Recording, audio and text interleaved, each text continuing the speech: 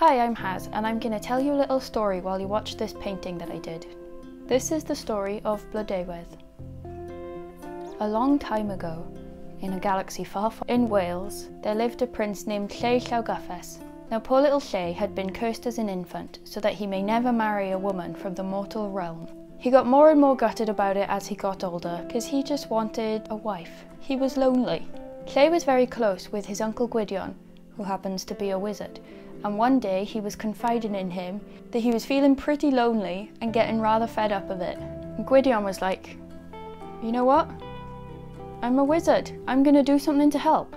And he took the flowers of oak, broom and meadowsweet, did some magicy stuff, and he created a woman for Lleu's bride. She was the most beautiful woman Lleu had ever seen. He was like a boing, like cartoon glasses in love with her and they got married and moved into his cantrev. A cantrev is like a, a, domain, like I don't know if it's a county or smaller, it's just like an area that he was like lord of. Now Lleu would travel a lot for work, I don't know why, but he would, and Blodeuwedd got more and more bored as time went on.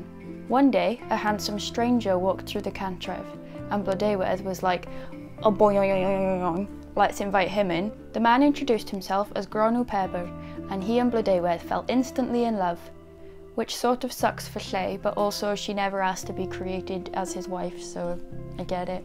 Gronw stayed the night with Blodeuwedd, and the two planned how they might be together. The only way they could think of was if her husband Lleu was to die. But Blodeuwedd happened to know that Lleu could not be killed by any normal means for some reason.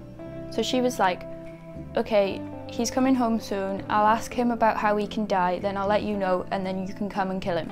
And Gronw was like, okay, deal, and he left. So when Lleu returned home, Blodeuwedd was like, Hi honey, how was your day? How was your trip? Hope you're okay. How can you die?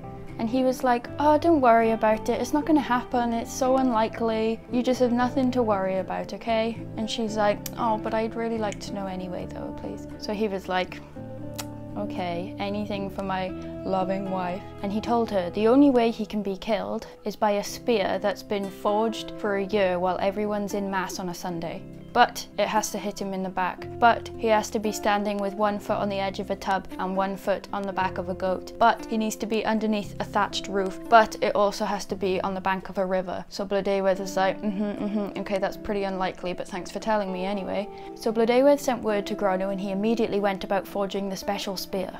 The rest was left up to Blodeuwedd to arrange and they were like, okay, this will take a year, so we'll meet in a year and a day at this river. So on the arranged day, Blodeuwedd was like, oh Lleu, let's go for a little picnic by the river. Oh, and while we're here, please could you tell me how you could die again? so he told her again about the bathtub and the goat and the thatched roof and the river and the spear. And she was like, I feel like I'll really understand it better if you show me. Luckily I've brought a goat and a tub and a thatched roof, so could you just so Lleu was like, oh my worrisome wife, I'll put your mind at ease. Look how unlikely this whole scenario is. And he got up and put one foot on the goat, one foot on the tub. Why isn't that a phrase? One foot on the goat. So he put one foot on the goat, one foot on the tub, and stood under the thatched roof like, look, I'm not gonna die. And then Gronw threw a spear in his back. The spear hit Lleu, but didn't pierce him fully, and he transformed into an eagle and flew off. Blodeuwedd and Gronw counted this as a win. They were like, Lleu's gone, don't know what that bird thing was about, but let's go home to our cantrev. When Lleu's uncle Gwydion found out that Lleu was missing, he was camping and he was like, I'm not going to rest until I find him. One day when he was out searching, he noticed that there were a lot of pigs running in a certain direction and he was like, hmm, and he thought he'd go check it out.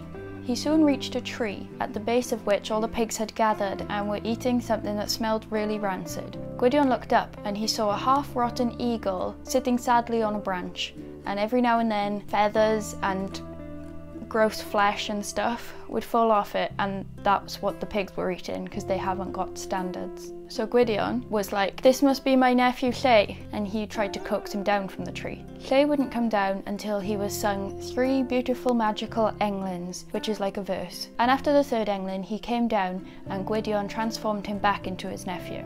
As soon as Lleu was human again, he squealed on Blodeuwedd, which I only say like that because obviously he was surrounded by pigs and I had to say that word. So he told Gwydion exactly what they did and Gwydion was like, they're not going to get away with this and they went back to the cantrev together.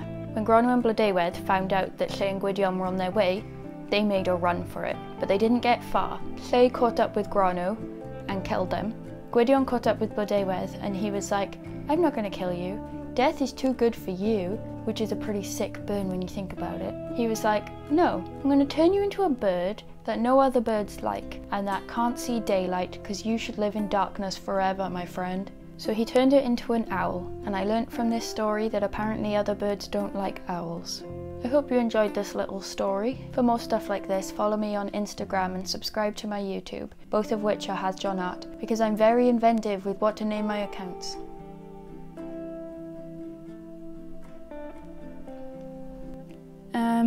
Ba ba da ba, he was very close with his uncle.